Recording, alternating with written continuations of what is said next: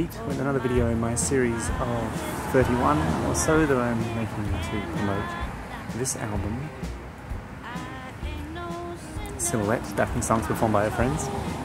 Today's video concerns Jaimi Shuey and her version of Dafni's song Save Me.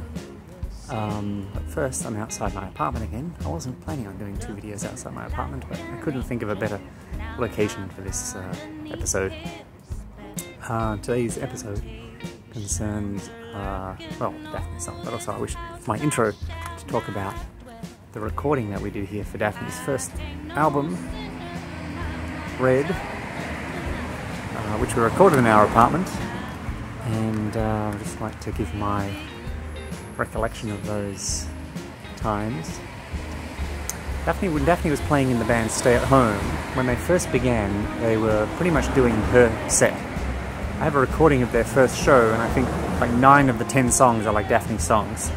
And um, what happened then over the subsequent, I think they were together for about a year and a half, and pretty much they kept, Dafni would write new songs and then they would become songs for the band, or Andy, the bassist, he would uh, introduce songs, and maybe even Mo introduced a song, I don't remember. And then they, maybe they did some co-writes and uh, some covers and stuff like that. Um, so as the band was progressing, I, I, kind of suggested to Dafni that uh, they kind of dropped a lot of her songs that, that, they used to play in the early days, and it seemed to be that me to, between Dafni's Dreamland demo, which was recorded in 2000 and, hmm, 2001, and say 2004 when Stay at Home was together, Dafni hadn't released anything, and she was playing lots of shows, and people would always ask her, "Oh, do you have an album?" and and she'd always, "Oh, I got you know, I've got this little demo, but I don't play the, any of these songs anymore." And then Stay at Home came along, and they were did her songs, but then they dropped some of the songs to introduce, you know, as the band grew and progressed and, and became better and better. They uh, didn't do those early songs, so my idea was that Dafni should record those, and then we'll release it as a Dafni solo album in case you know Stay at Home became like really popular. There'd be this solo album and it'll be exciting for the fans or whatever. Anyway, just to get the songs out. So we uh, recorded some of the songs here before around the time when we were maybe between the the, the Beverly Hills courthouse wedding and the Saint Sophia's um, Greek Orthodox wedding. We recorded some of the songs basic tracks and, and Dafni had some ideas to overdub other instruments on there. And um, but I remember after we got married at the St. Sophia's Church, it was kind of like, oh, let's just finish that record off. So I think we did early in 2005. I think we, I remember we finished it off maybe January, February. And um, I think the record is. I have very mixed feelings about the record. On one hand, I think we did a good job with recording the vocals and the guitar, and all the instruments, they sound good. But on the other hand, the mix is not good, I don't think. Um, particularly because Dafni didn't record uh, to a click. She kind of overdubs certain instruments on certain songs, a bass, or some percussion, or some uh, piano, and it doesn't quite gel. I mean, there are times when it's like completely off the beat. it's so obvious and it's so embarrassing, and I don't like to really to listen to these songs. But I think the quality of the recording is good. We did a good job with the with microphones and the microphone placement and uh, avoiding clipping and various technical things, but we didn't have any idea really about how to mix. And I think some of the, like our, you know, we didn't um, have a clue really about how to use compression and EQ and stuff like that to make a better mix. We knew how, well, we learned how to record things cleanly. In that regard, I think it's nice. And I think probably if I took the files and, and uh, cut out all the overdubs and was just vocal and guitar, I think I think it would be a much probably a much better record in, in hindsight. Um, but perhaps you know you need to go through these processes to to learn uh, what mistakes to avoid in the future. But uh, to me, the Red Album is it was kind of a necessary album to make in Dafni's progress of his career. And some of the songs sound very good, especially the ones that uh, are just vocal and guitar. Let me just look at the I think Control sounds very good. That was a song that Dafni um, played live. It was very frenetic, and, and, a lot of people like that song. Save My Dreams is good, but it's got a lot of overdubs. It's a nice song. Should Have Forgotten All, all About You, which David Serby does on the Tribute album. I think it sounds pretty good. It's just uh, Dafni plays Dafni vocal and guitar, and then she overdubbed a bit of guitar in a kind of a solo section. Mr. America is one that that um, has a lot of overdubs, but I think it kind of works. Red, she played on piano. Temperance, I think, is just vocal and guitar. To Her Door is a cover of a Paul Kelly song that I actually introduced Dafni to. That's a that's another story for another day. Um, Never Make Me Cry, which Ricochet does. I think it's just vocal and guitar, so it sounds good. And at the end, there's uh, a little uh, percussion jam with uh, that even I play on called Error minus 9073, which was the uh, the title comes from this uh, error that popped up every time we recorded and wanted to save something. It like it was just so frustrating on our computer. This error message popped up and we could do nothing to nothing to save it except I don't know go back and repeat what you've done and hope that next time you save it it works. So that kind of popped up so many times that we thought we'd use that as the uh, title for the song for this little percussive jam. Um, speaking of the percussive jam, it was Terry Moore, Dafni's uh, friend from the pharmacology department, and her son and me and Dafni, we play on, we were playing all the percussion on that stuff. It actually sounds really good. Just recorded with one, one microphone. It's probably the most, uh, the, the, best recording on the whole record. Although it's not really a Dafni song, it was just a bit of percussion that we all played to played together. Um, also on the record, Dustin Moore, Terry Moore's son. He plays bass on some songs, particularly Mr. America. I think it's a really nice part that he plays. Dafni played bass on maybe three songs and Dustin on three songs and I think it's, yeah, like I said earlier, I think it's like it was a necessary album to make, but it's kind of one that I don't think, uh, I don't know, I can really recommend to people to listen to, unless you're Dafni completist and you want to uh, get the whole set. Anyway, okay, today's video is really about um, Jaimi Shuey and her version of Dafni's song Save Me. Uh, Save Me is a song that appears on Dafni's album Sweet Time, and it's kind of, uh, it sounds like very much like, a, oh, I don't know, like a gospel or something. It's like, no other Dafni song sounds like that, and um, I'm very happy Daph Jaimi picked that one to play on the album.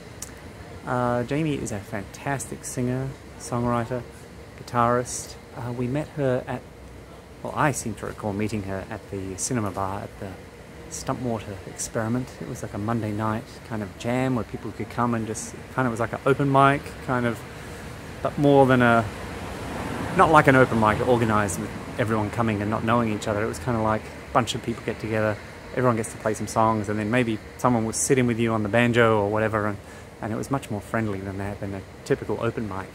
And I don't remember having met Death, uh, sorry, Jaimi before then, but um, she, we definitely saw her at the very first Stumpwater experiment that we went to at the cinema bar, which must have been pretty early in in our time after we discovered the cinema bar. So I'm guessing probably 2005, some point.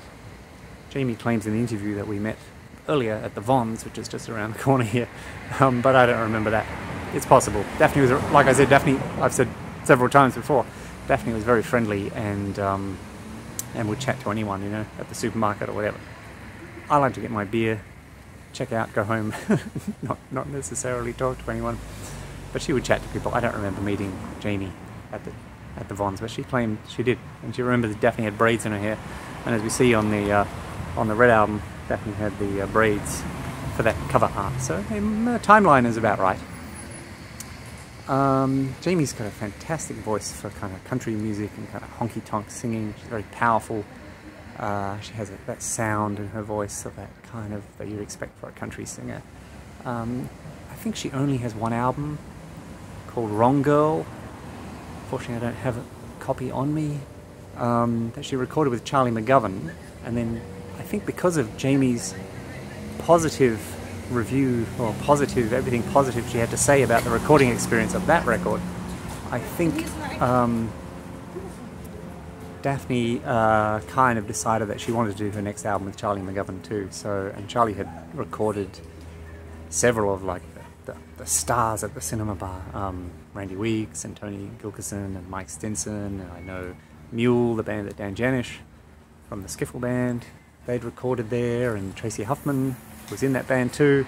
So we had all these albums from the, the, the like the, the stars at the cinema bar had all recorded with Charlie McGovern. So Dafni wanted to record with Charlie McGovern, and Jaimi had just recorded around that time, and she was like gushing about how wonderful it was. So Dafni approached Charlie and, and ended up recording her second album, sorry, her third album with uh, Charlie McGovern. Uh, Charlie's Lonely Sunday. Um, this song saved me. Yeah, like I said, it's a bit of a gospel. On, uh, I think Dafni played it quite a bit, but when it came to recording it, uh, she got this um, guy who was friends with uh, Geoff and Mark, Dafni's rhythm section. They'd played some jazz stuff with, or they knew him from UCLA maybe when they, they were all at UCLA together. Um, they got um, Mike Bolger, yeah, he played to play uh, piano and trumpet, and it just lifts the song. It's amazing performance that he does on the record, and I, the song just gets that kind of it gets sounds even more gospely and maybe you know, New Orleans jazz or something like that. Dafni's version is really good.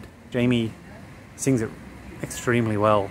Um, we recorded this song again. It was recorded at Kevin Jarvis's studio with Dafni's backing band. It's sounding familiar me me be introducing songs that way. Um, so it has Mark San Filippo on the drums, Geoff Rakness on the bass, and Peter Kavanaugh on guitar, Jaimi Shuey on the vocals, and I think it's just fantastic. She has the kind of voice that can really belt out that kind of song, and um, Jaimi's one of my favorite singers, and you should check out her album, Wrong Girl. It's like a country music album, and also she has she sings all kinds of different styles on there. There's a gospel song on there, and a, I know she used to sing a song in French. I think it's on that album. She's kind of like Dafni, I think, a bit. I think, yeah, Dafni and Jaimi Shuey and Sarah Stanley were kind of the three female-fronted singer-songwriter band leaders who performed at the cinema bar very regularly in those days, in the early days of the cinema bar. And uh, we used to love going to see Jaimi play. And um, I think I've said enough. Okay, I hope you enjoy listening to Jaimi singing Dafni's song, Save Me, and I uh, hope you'll come back for the next one. Okay, bye. Can I wear my sunglasses?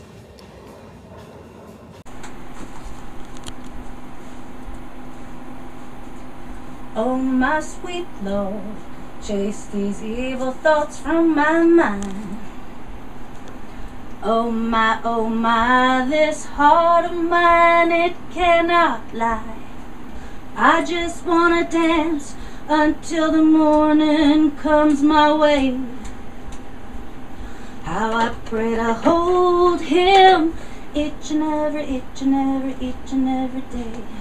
I ain't no sinner, my mama told me not to be. Oh Lord, I keep on praying. Maybe you will save me. I believe it was at the cinema bar on a stump water experiment on a Mhm. Monday night. Um, she was one of the performers, and I was there also to perform and play some songs. And yeah, that's what I recall. But actually, the real truth is, Justin and I were in the Vons near Federal and saw you guys there and saw Dafni, and that's when she had her like dreads and was all Braids, like yeah, her uh-huh. braids.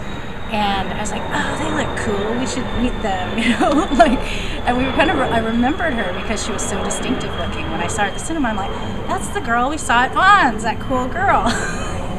and yeah. So anyway, Plus, you didn't know us when you saw us at Vons? no, we didn't know you yet. Did we speak at that? Did we speak? I, t- I think we just said, oh, hey, how you doing? I think you guys were maybe getting Guinness and we were getting Guinness or something, That you know. My, we were getting That was my habit at those, exactly. in those days. Yeah. Maybe you will save me. Oh Lord, I keep on praying. Maybe you will save me.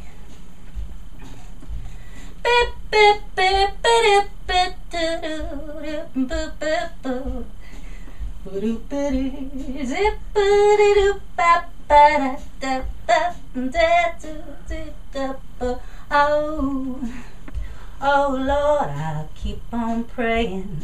Maybe you will save me.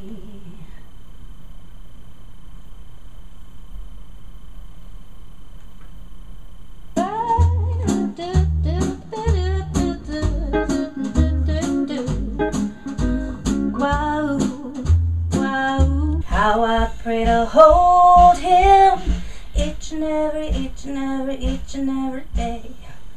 I ain't no sinner, my papa told me not to be. Oh Lord, I keep on praying. Maybe you will save me. Oh Lord, I keep on praying. Maybe you will save me. So incredibly talented. So I was always like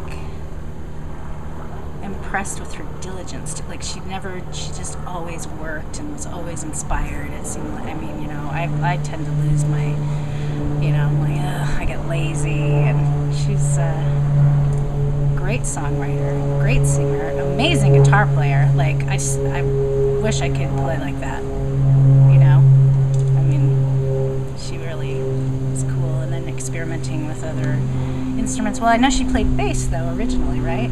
Yeah, Is that that's how she started She playing? began in high school. She Yeah, played bass. Yeah. And, And, French then the horn. French The horn. French horn. Yeah. Yeah. I do it. Somebody needs to save me from that. Yeah, we will save you from that.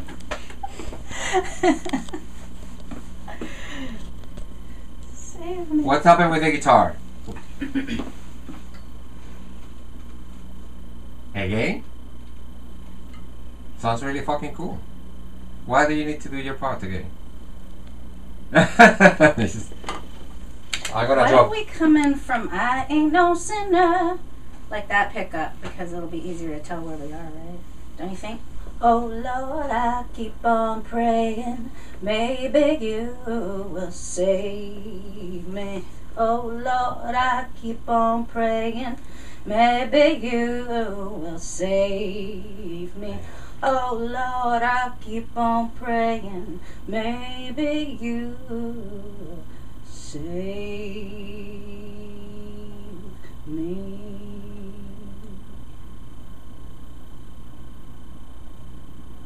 It was kind of cool for the rest of the body Mm-hmm. that you. I mean, vocals were great or not? Do you want to do it again? Fine. I think it's a usable tape.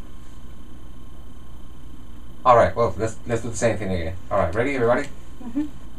Oh Lord, I keep on praying. Maybe you will save me.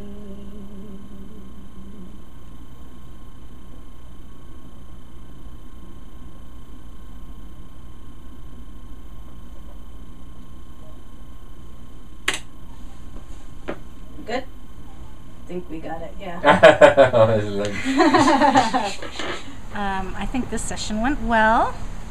Um, of course, I could always use more time, but there's a lot of other people here that want to record as well. So um, I think it was great. I think the guys were really quick and picked it up quick, and we got it done. And the song, I like the song. Well, I feel like Dafni and I share a real love for Billie Holiday, and so that's what it really reminds me of is that love we share for that kind of music. And I also kind of personally relate to the lyrics a little bit. it is called Save Me after all. So I just like it. I, I like the story she's telling and the whole sentiment is, you know, very cool.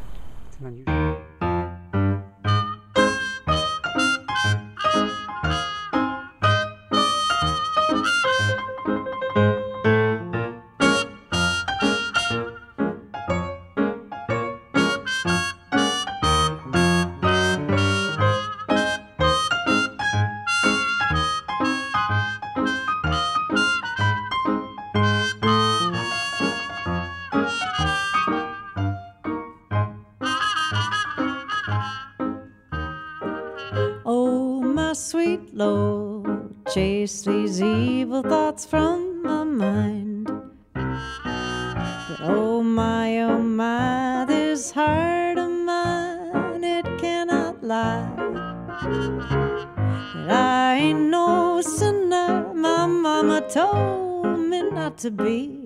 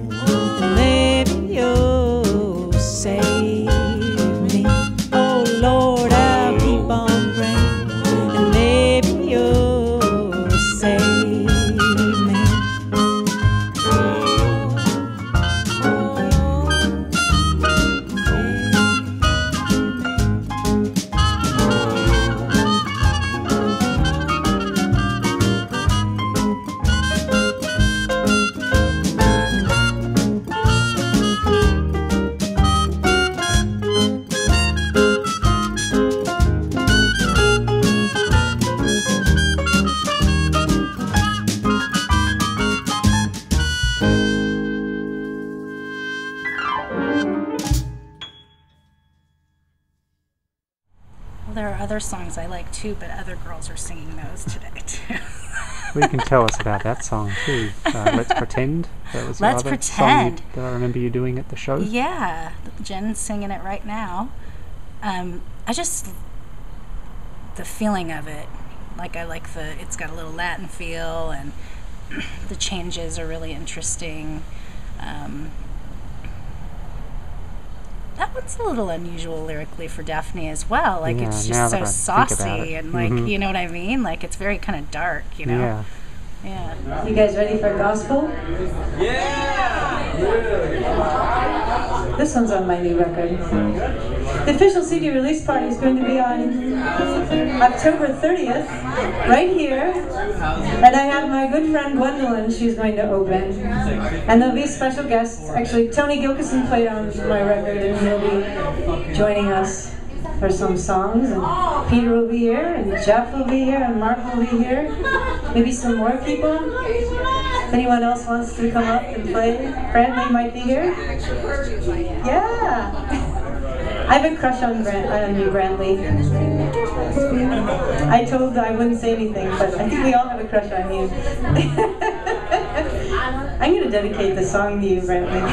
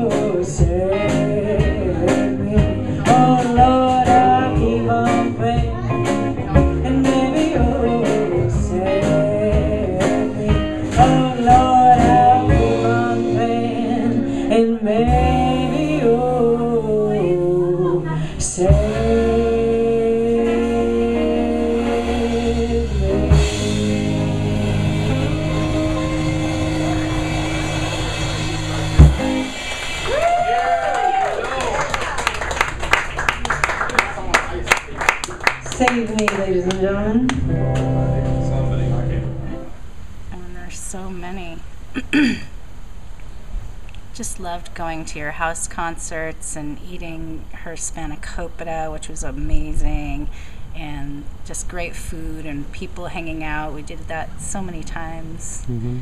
I remember she gave me like a really cute pair of mittens for my birthday one time. Um, and I think the overarching thing is just that she was so positive. Like, Mm-hmm. a good friend, a positive person, like always brought joy to the table, Mm-hmm. you know, which is, you know, unusual.